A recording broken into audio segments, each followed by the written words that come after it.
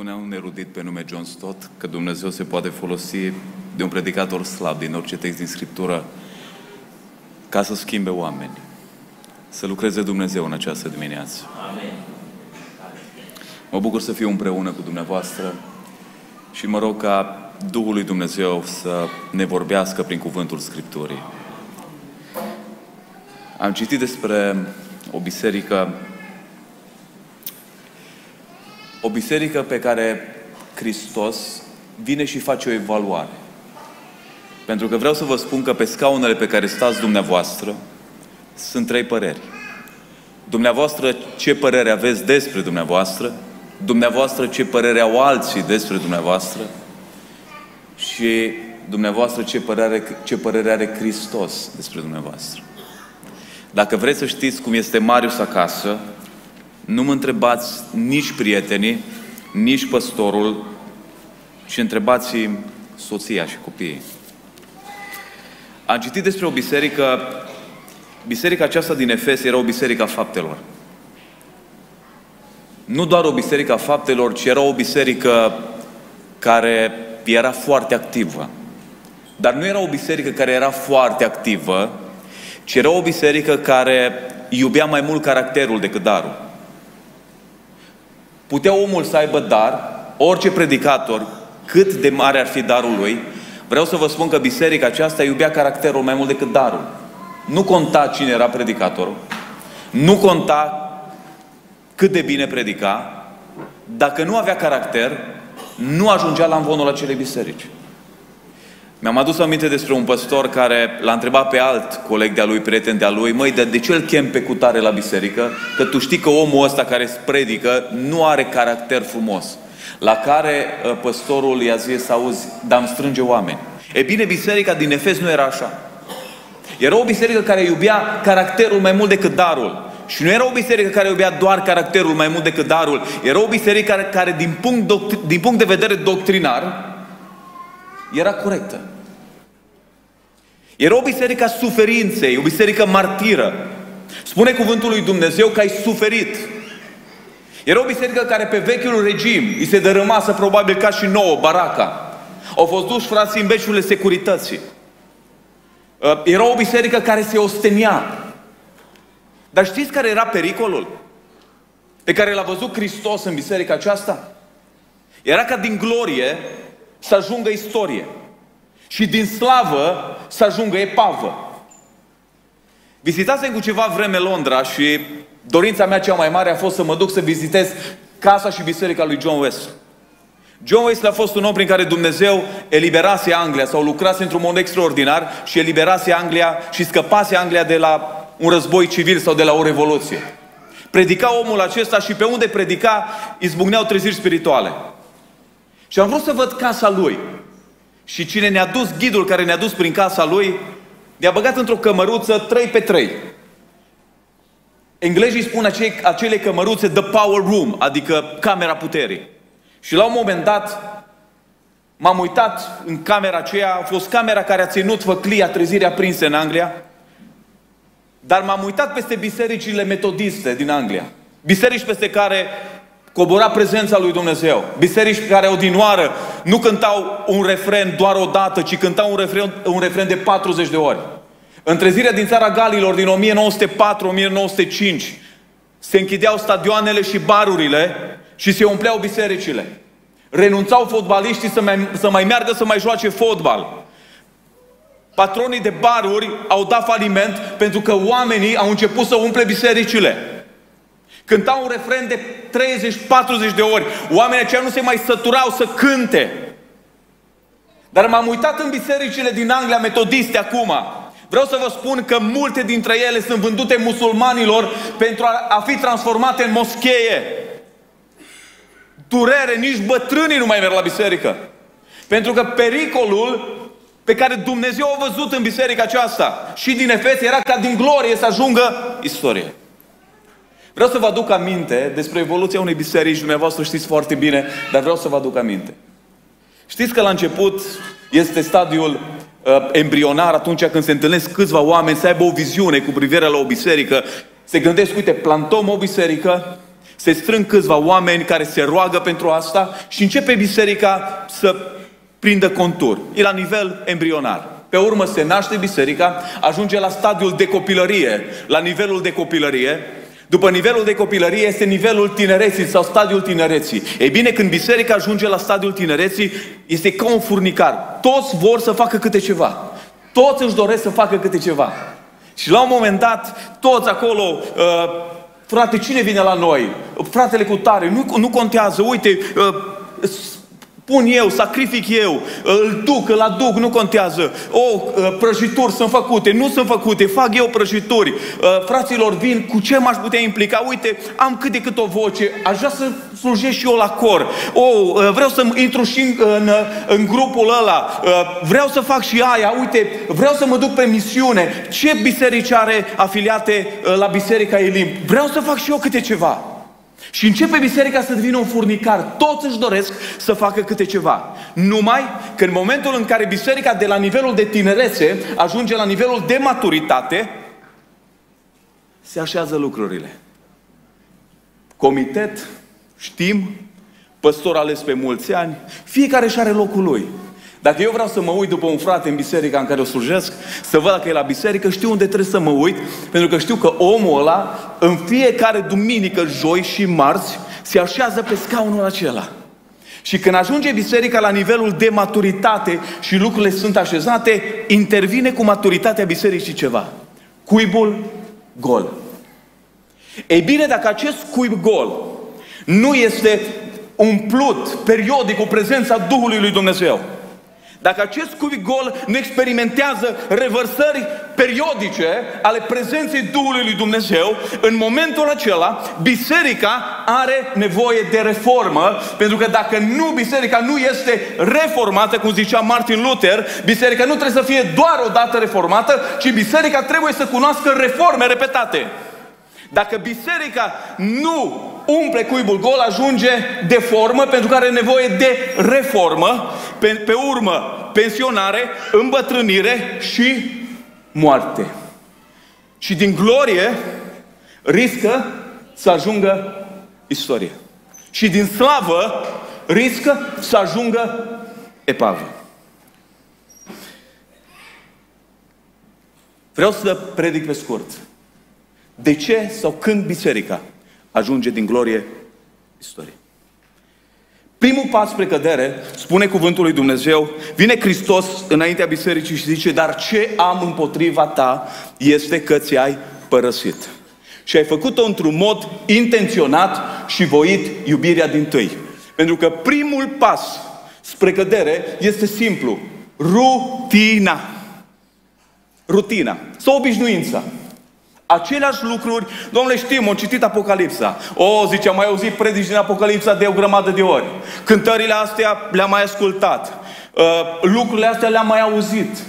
Uh, știm, domnule. Și biserica începe încet, încet și viața mea și viața ta să meargă așa din inerție. Domnule, cum merge să mergem și noi, așa din inerție? Mai am harul să mai stau în față și mai văd pe câte unul. Mai văd pe câte unul vine la biserică săracul dar știți cum vine? Parcă plimbând ursul, parcă l-a dus la moarte. Dar să vezi când se gata biserica, dai, spui de să dai mâna cu el, nu-l mai vezi. Pur și simplu nu-l mai vezi.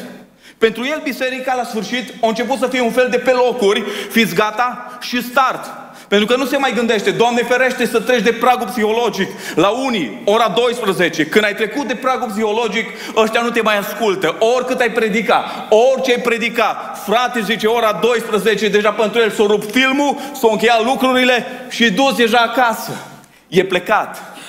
Pentru că în momentul în care intervine rutina sau obișnuința, deja viața ta și viața mea începe să meargă din inerție. Domnule, lasă-o să meargă așa.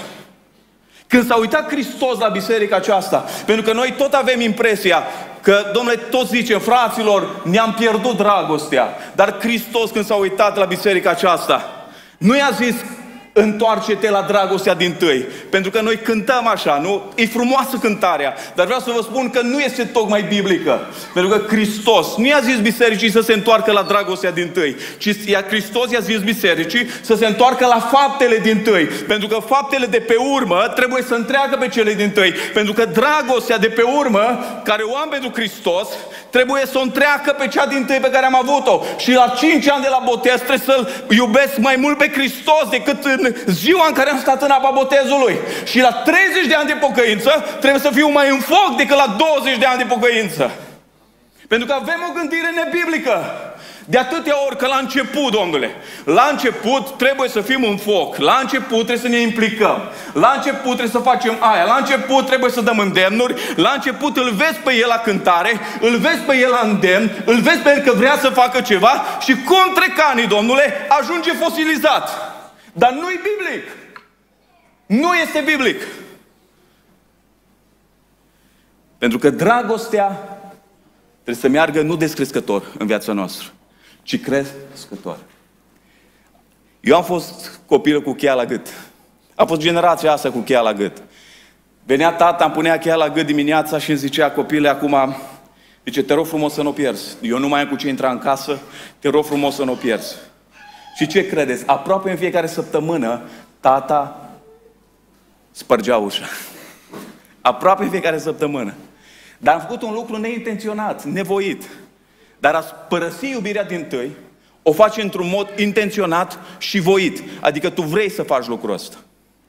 A avut odată grijă să-i spună cineva soției mele după ce s-a întors la Domnul, a avut grijă să-i zică, auzi, ești în foc, nu? Pentru Hristos, zicea o soră. Da, zice, îl iubești pe Domnul, îl iubesc pe Domnul, ești în iubirea din tâi. Da, sunt în iubirea din tâi. La care sora asta zice, știi ceva? Zice, o să-ți treacă. Pentru că gândim așa. Pentru că gândim așa, domnule, la început, foc pentru Domnul, rugăciuni, mâini ridicate. Domnule, trec ani. Așa și în viața de căsătorie, în viața unora. Așa și este. Cu un frate, apropo de asta, eram căsătorit de curând și uh, s-a uitat la mine, au venit la mine și au zis, băi, am auzit că te-ai căsătorit. Da, zice, m-am căsătorit. Îi uh, miere. Am zis, da, este. Uh, zice, o să fie dulceață. Da. și pe urmă o să fie zahăr. Am vrut să vă pun unde ajunge. O ajuns până la pelin.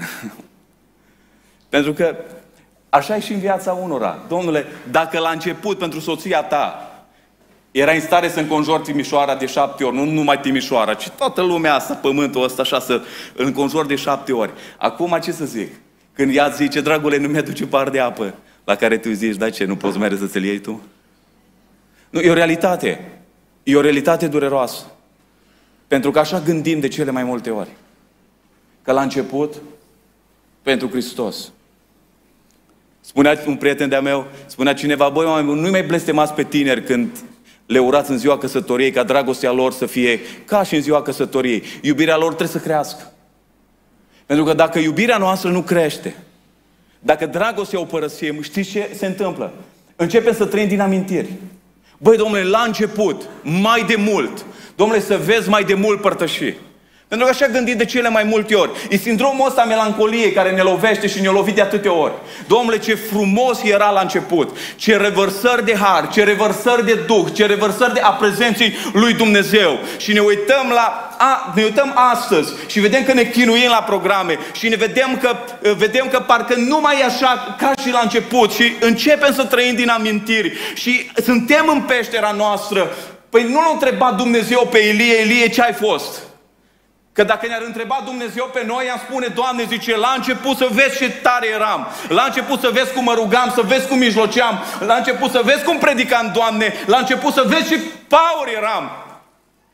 Dar nu l-a întrebat Dumnezeu pe Elie așa. I-a zis Dumnezeu lui Elie, Elie, ce faci tu, nu ce-ai fost? Ce faci tu aici? Cum ești tu acum? Pentru că s-ar putea ca unii dintre voi să fiți în peștera melancoliei, să fiți în peștera trecutului și să nu mai fie ieșit de mult de acolo. Dar Dumnezeu nu te întreba ce ai fost mai de mult. Dumnezeu nu te întreabă ce ai făcut pentru El mai de mult. Dumnezeu îți spune în această dimineață cum este starea ta acum și aici. Când un prieten de-a meu, nu vă spun numele lui, un predicator destul de cunoscut și socrul s-o îl tot achina, fiind și el păstor. Băi, zice ginere, generația voastră, praf. De fiecare dată când mergea la el, să vezi tu pe vremea mea, să vezi tu acolo predici, să vezi tu acolo rugăciuni, să vezi tu acolo, domnule, ne rugam, botezul cu Duhul Sfânt, se ridica bolnavul instantaneu.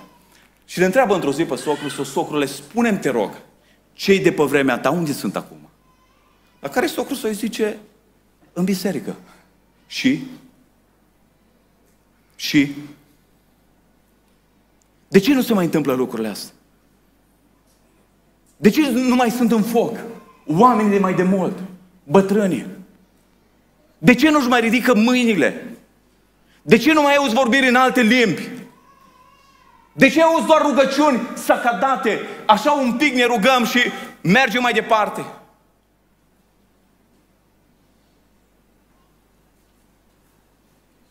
Când ne pierdem iubirea din tâi, ne pierdem focul pentru Hristos, ne pierdem pasiunea de a veni la biserică, ne pierdem pasiunea de a citi Scriptura, ne pierdem pasiunea de a ne ruga, ne pierdem pasiunea de a iubi oamenii.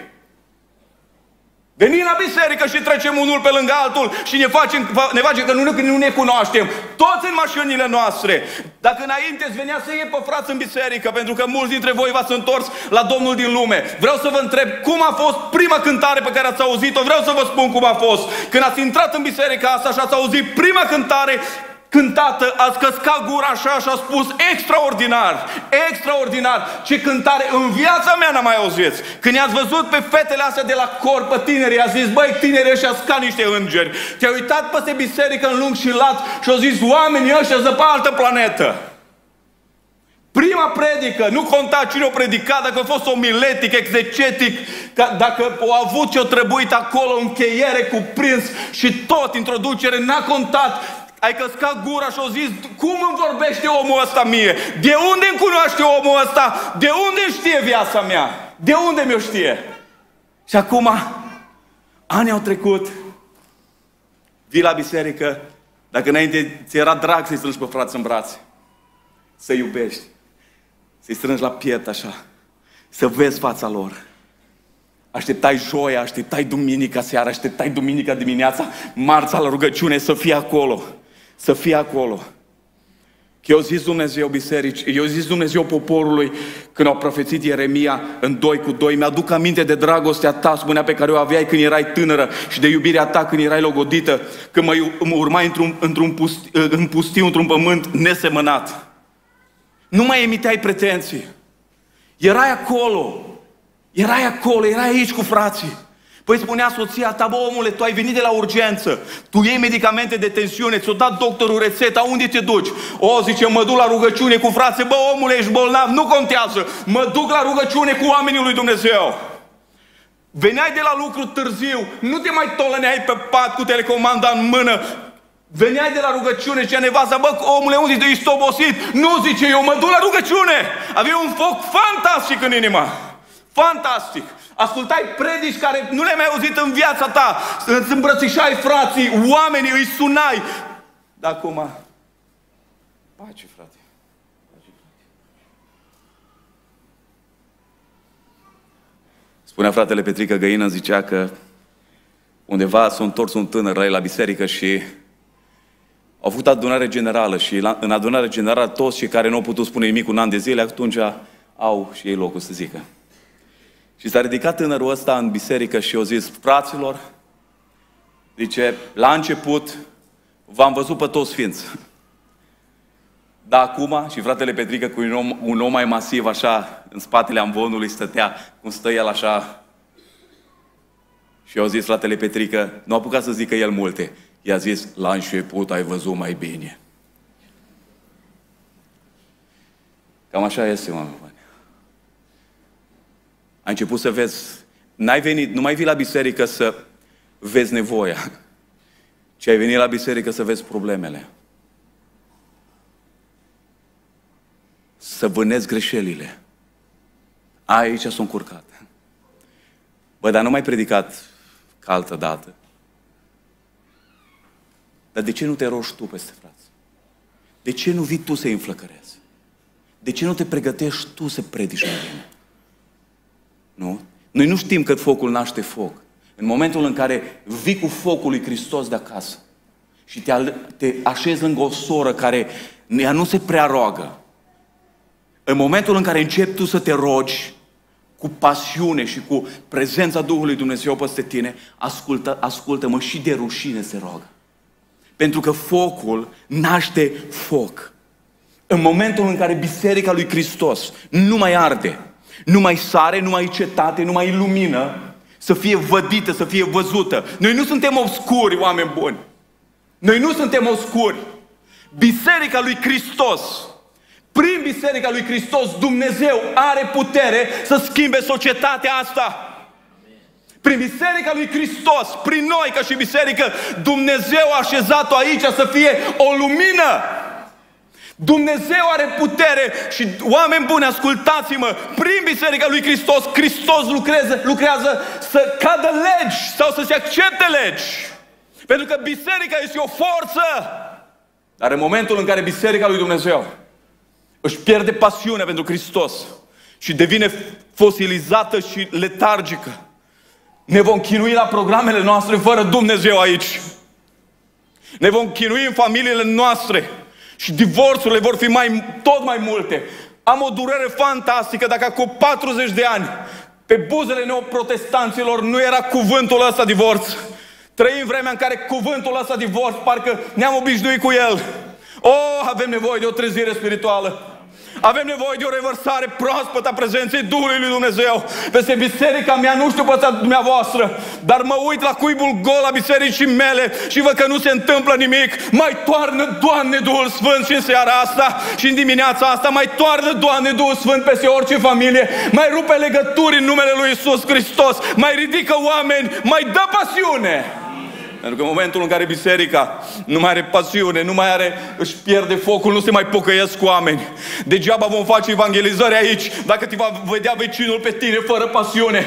Dacă te va vedea tot timpul cu nasul și returi cârtitori și umbli după bani și după lucrurile lumii. Cum să se mai pocăiască oamenii? Cum să se mai întoarcă oamenii la noi? Că înainte de a-L vedea pe Hristos, te văd pe tine, tu care spui că ești pocăit, tu care spui că ești omul lui Dumnezeu, tu care când sau predici sau faci uh, lucruri lucrurile lui Dumnezeu, te vede pe tine și vede că în viața ta nu există pasiune. Că te ceri cu nevastă ta, că de la iubi, draga mea, ă, fluturașul meu, iepurașul meu, ă, porumbelul meu, ați ajuns la o întreagă grădină zoologică. Cum să mai pocăiască oamenii? Nu știu, probabil Dumnezeu în dimineața asta să dea câte un restart familiei tale. Poate de mult nu ți-ai mai luat soția, probabil te gândești și probabil ești în pragul divorțului, nu știu cum ești. Probabil între voi tensiune de luni de zile, de ani de zile și jucați un rol fantastic, pentru că cei mai buni actori, vreau să vă spun, nu, nu sunt la Hollywood, cei mai buni actori sunt aici printre noi, unii joacă rolul de uh, 3 ani, de 30 de ani. Cea mai frumoasă familie, că am avut odată șocul vieții mele, când oricum trăim într-o lume a imaginii, nu tot încercăm să epatăm, să dăm bine pe Facebook în vacanțe, iubi îmbrățișați. Și după ce am văzut pe ăștia în vacanță cu trei săptămâni înainte, după trei săptămâni am aflat că deja au înaintat actele la divorț. S-ar putea să fie aici să joci un rol de pocăit bun, de familie bun, de tată bun. Dar în numele Lui Isus Hristos, cât ai de gând să mai faci lucrul ăsta? Mă rog ca Duhul lui Dumnezeu să pătrundă în inima ta.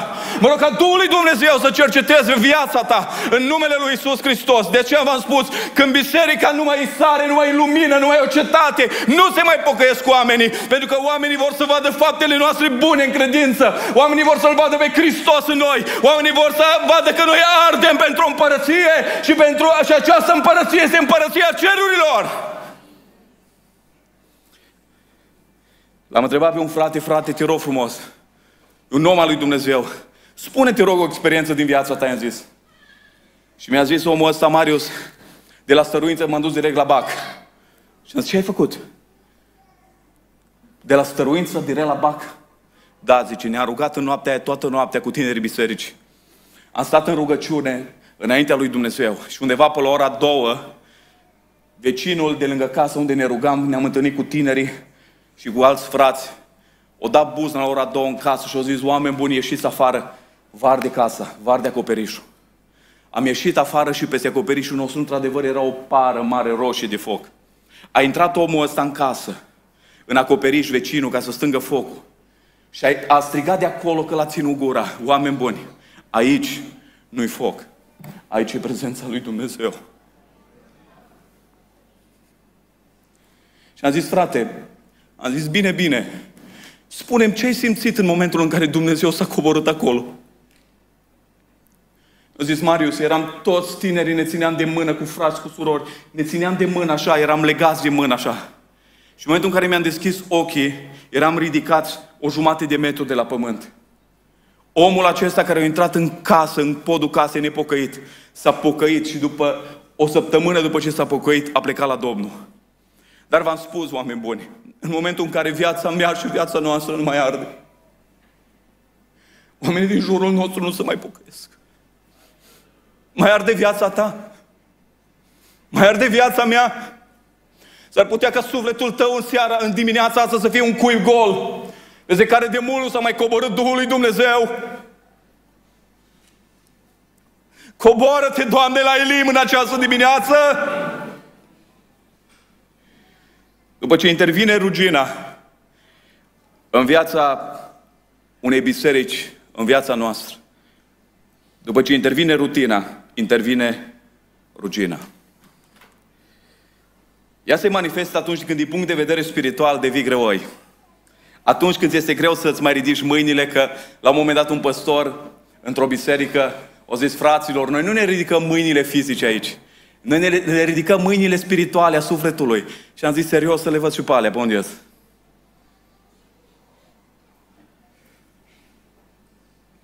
Vii la biserică, vii dimineața, că și așa ai lucrat toată, așa te gândești, ai lucrat, am lucrat, Domnule, toată săptămâna. Lasă, Domnule, să mai meargă alții după masă. Nu știu cum e la dumneavoastră, dar cel puțin noi pe acolo, pe la noi, urmăm bisericile istorice tot mai mult, că venim seara la cină, plin, toți, full.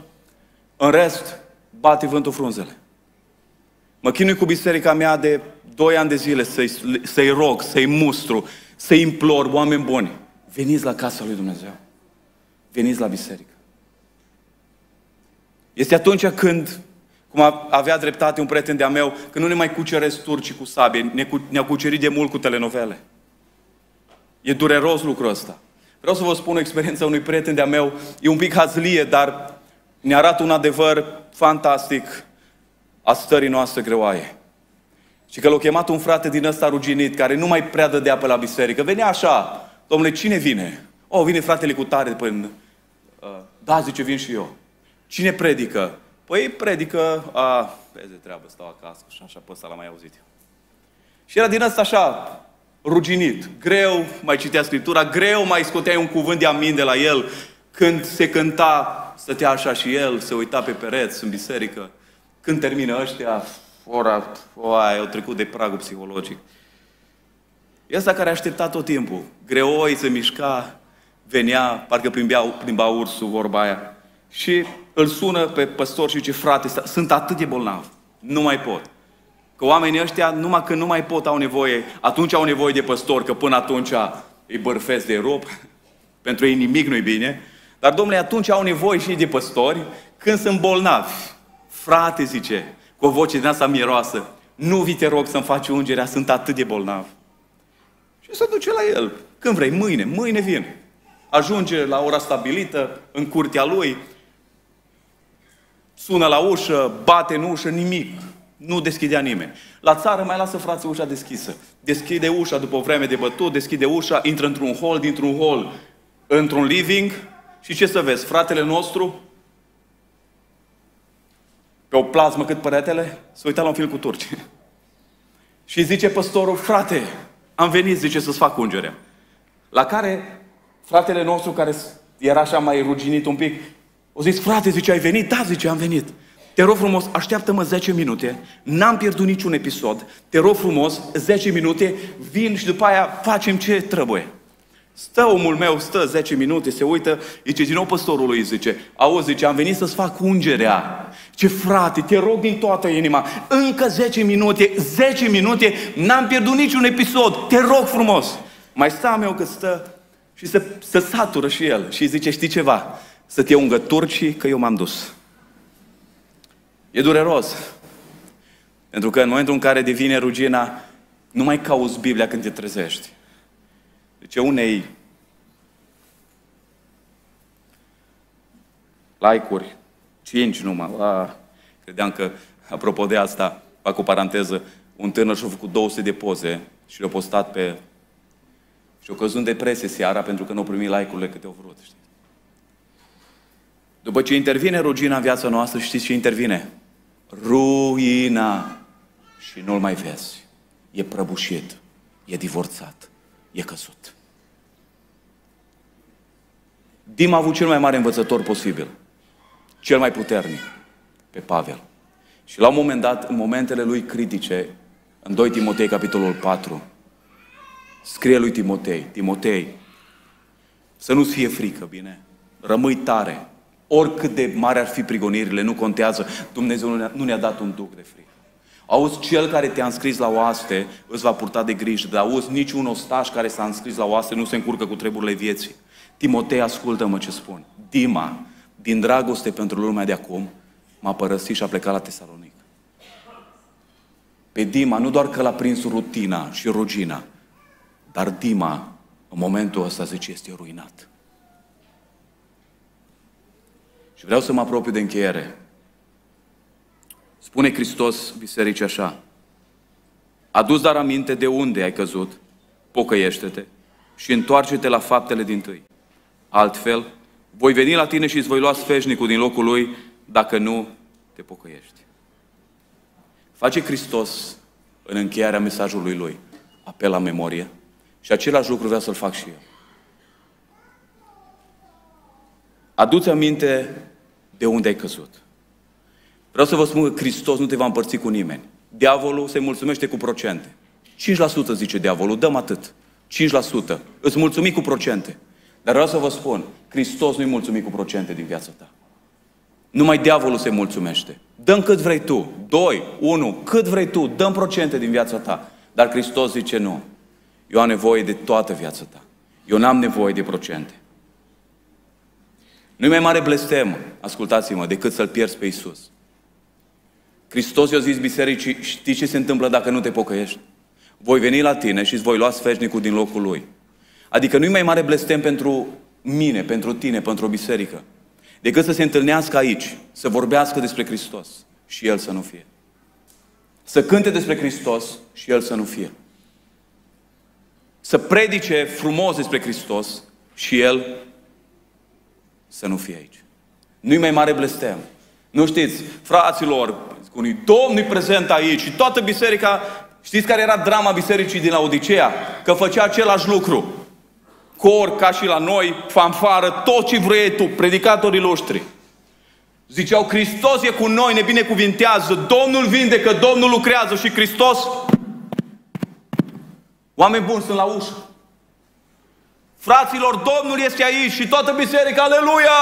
La care Hristos, oameni buni, dați în drumul, sunt la ușă. Eu vreau să vă binecuvintez. Eu vreau să fiu cu voi. Dar eu la, la ușă.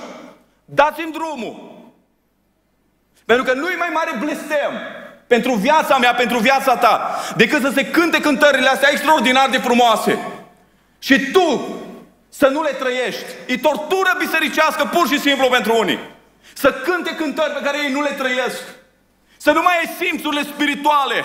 Să nu mai simți prezența lui Hristos. Să te amăgești că ai venit aici, că de ochii, pă, că pe unii mai țin soțiile, copiii, păstorul, că nu mă mai vede, dar tu de mult ești fosilizat, omule. Tu de mult nu mai ai simțuri spirituale. Pe tine de mult. Știți care a fost drama poporului Israel când le-a trimis Dumnezeu un proroc prin persoana lui Ezechiel și a zis, oameni buni, ce templu Domnului, templu Domnului, că ăștia tot templu Domnului erau. Domnul cu noi, Domnul bun, prosperitate, așa mai departe. Preoții, cădelnițele, slujbe, tot. Templu Domnului, slavă lui Isus, Domnul cu noi și Ezechiel i-a zis, oameni buni, pocăiți-vă! Nouă zice, Domnul cu noi. Și Domnul a început să-și ia slava din templu și să o ducă în curtea templului. Vine Ezechiel din nou, oameni buni, întoarceți-vă la Dumnezeu, nu ci Domnul cu noi, templu Domnului, templu Domnului. Merg bine toate, salariile intră, uh, tot, tot, tot e frumos, am renovat biserica, tot e extraordinar. La care Ezechiel, oameni, întoarceți-vă. Slava Domnului pe munte. Templu Domnului, templu Domnului. Și drama lor a fost că slava lui Dumnezeu a părăsit țara. Dar ei au rămas cu ritualurile. S-ar putea să te fi părăsit prezența lui Dumnezeu. Pentru că trăiești într-un păcat continuu și conștient. Nu te amăgi, omule, că vii doar la biserică și ai încheiat socotelele cu Dumnezeu. S-ar putea să ai o confesiune sau o conștiință confesională. Să fii pocăit, așa cum mi-a zis un prieten de-a meu, zice Marius, 37 de ani am fost pentecostal. De 5 luni, zicea el, îți și pocăit. S-ar putea să fie o găoace, să ai un creștinism de tine găoace frumos, dar gol. Cu ceva vreme am venit din, uh, din Suceava și undeva, cum urcam este cănișul, spre partea Bistriței, am surprins doi tineri. Un iubit și cu o iubită. Și în momentul acela, tânărul, iubitul, și-a pus capul pe pieptul fetei și fata, cu mâna stângă, i-a îmbrățișat capul și cu mâna dreaptă să uita în telefon. Dați-mi voi să merg cu imaginația Probabil iubitul i-a fi zis iubitei, draga mea, sunt cele mai frumoase momente pe care eu le petrec cu tine aici. La care iubita și pentru și pentru mine. Probabil iubitul i-a fi zis, draga mea, ești cea mai frumoasă fată din lume. Nu știu alt. Pe care iubita, mulțumesc. Vreau să vă întreb. De câte ori n-am făcut și, eu așa, și noi așa cu Hristos? De câte ori? De câte ori, atrași de lucrurile lumii, ne-am făcut că l ascultăm, dar numai l-am auzit. Pentru că Hristos îi zice bisericii, cine are urechi să audă sau asculte. Hotărâți-vă. Să E diferență între a auzi și a asculta. Pentru că multora le place să audă, dar prea puțin, la prea puțin le place să asculte. La prea puțin. Știți că în cer va fi plin de urechi mântuite. Vor fi grămezi de urechi mântuite a oamenilor care le-au plăcut să asculte predici bune, dar să nu se pocăiască. S-ar putea ca până acum să te fi mulțumit doar să auzi, dar niciodată să asculți. Îmi spunea un prieten de-a meu mare să am avut un șoc într-o zi, când niște tineri, până în 30 de ani, mă urmăreau peste tot. Unde eram eu în zona lor, veneau și ei. Frate, zice, suntem cu tine aici, ne plac predicile tale, fantastic de mult. Și eu am întrebat într-o zi, băi, totuși, aveți copii, zice. O, oh, zice, nu. Noi nu suntem nici căsătoriți, noi suntem numai așa. Wow. Pentru că unora le place să audă, dar prea puțin. La prea puțin le place să asculte. Dați-mi voie să vă ridic în picioare. Vă rog să ne ridicăm. S-ar putea să fie aici și de mult Duhul lui Dumnezeu să nu-ți mai fi cercetat viața. Pentru că s-ar putea ca păcatul, idolatria, iubirile lumii acesteia te-au îndepărtat de El. Mi-aduc aminte la un an de, la, de pocăință, în viața mea interveniseră vulpile mici care, știți, strică via în floare. Aveam așa câte o mică invidie, câte o mică neiertare și am pierdut relația cu Dumnezeu, nu mai aveam simțăminte spirituale în biserică la un an de... Și ce, ce a făcut Dumnezeu? A trimis la noi în oraș pe tineri de la Zălău. El trezise Biserica Baptistă, îi botezase cu Duhul Sfânt, le vindecase prezbiterul pe fratele Joldiș, îl vindecase. Și au venit la o biserică pendicostală, la numărul 1, și și-au spus mărturiile. Cum i-a botezat Domnul cu Duhul Sfânt, cum îi aduseseră pe fii risipitori acasă, înapoi. Și la un moment dat, fratele Joldiș și-a făcut o chemare în plină biserică. Și au zis așa, dacă este cineva aici care vrea să-și dea viața lui Dumnezeu, să vină în față. Dar a mai făcut o chemare. Au început să iasă tineri acolo în față și a mai făcut o chemare. Dacă este cineva aici care vrea să-și rededice viața lui Dumnezeu, să vină în față. Cei care ați falimentat, cei care ați cunoscut falimentul, Ați fost undeva pe stâncă unii probabil dintre voi, dar astăzi gustați valea falimentului. Crezi că nimeni și nimic nu te mai poate ridica? Vine vocea diavolului și spune, pentru tine nu se mai poate face nimic, nici Dumnezeu. Uite unde ai fost și uite unde ai ajuns. Dar vreau să spun ceva în această dimineață. Duhul lui Dumnezeu te ridică. Și au făcut chemarea aceea și au zis așa, dacă este cineva care vrea să-și rededice, eu n-am vrut să ies. Dar am simțit la propriu două mâini pe spatele meu, eram undeva la balcon. Pe spatele meu care m-au ridicat în sus așa. Și au început să mă împingă până în față. M-am prăbușit acolo în față. Și a pus mâinile peste mine, s-a rugat. Și din momentul ăla, de 20 de ani aproape, sunt liber în numele Lui Isus Hristos. Același lucru poate face Dumnezeu și cu tine. S-ar putea să fie în rutină, să te plictisească casa lui Dumnezeu, să nu mai simți prezența lui Dumnezeu, să nu mai simți puterea lui din abundență. S-ar putea să fii deja ruginit, dar s-ar putea să fii pe marginea propastiei. Am citit psalmul 46 cu 10, nu știu cum e vocea lui Dumnezeu pentru tine acum. Dar știți când îți scoți pruncii afară, în predispoziția copiilor să fugă de părinți, nu spre părinți. Și când stăteam la bloc în Bistrița, alergam la un moment dat, fugeam după pruncii mei, că înainte să închid ușa, ăștia deja erau spre stradă. Și cum se îndepărtau un pic, pruncii mei, vocea mea era cam așa, opriți-vă! Vedeam că se îndepărtează mai mult, începeam să strig, opriți-vă! Vedeam că la un moment dat se îndepărtează și pe punctul de a ajunge în stradă, strigam cât mă ținea gura și alergam după ei și le spuneam, opriți-vă! Nu știu cum e vocea lui Dumnezeu pentru tine astăzi.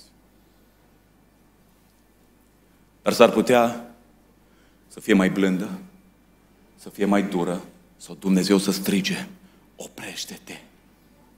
Vreau să ne rugăm înaintea lui Dumnezeu. Și dacă sunt oameni în această dimineață care vor să-și rededice viața lui Dumnezeu,